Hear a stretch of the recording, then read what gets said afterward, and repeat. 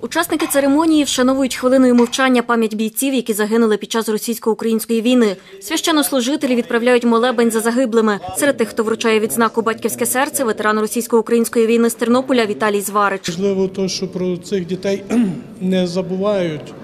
Е, Пам'ять е, про загиблих своїх побратимів віддається на їхнім, е, їхнім дітям, увага приділяється. Я рахую, вважаю, що це саме яке є цінне, коли не забули там і тут не забувають про рідних, близьких дітей. А тим більше це нагорода буде як е, талісман для дітей про їхніх батьків.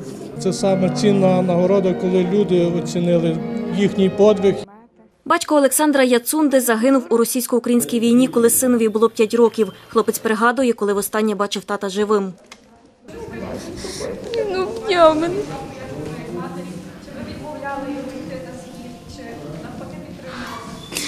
І поцілував, і сказав, я вернусь.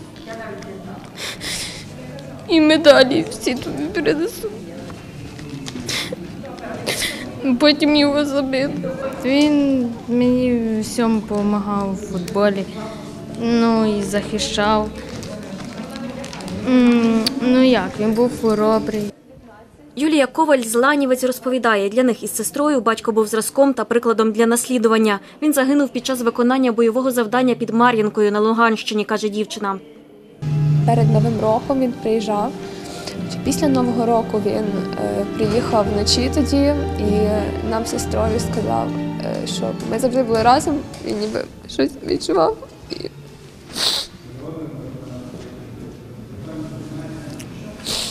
Сказав нам, що ми дві найрідніші людини і щоб ми завжди підтримували одна одну і завжди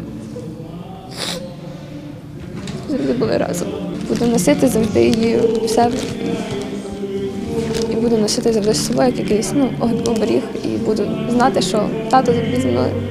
Голова спілки Бойове братерство України Леонід Климчук розповів, відзнаку батьківське серце на Тернопільщині отримають 72 дитини.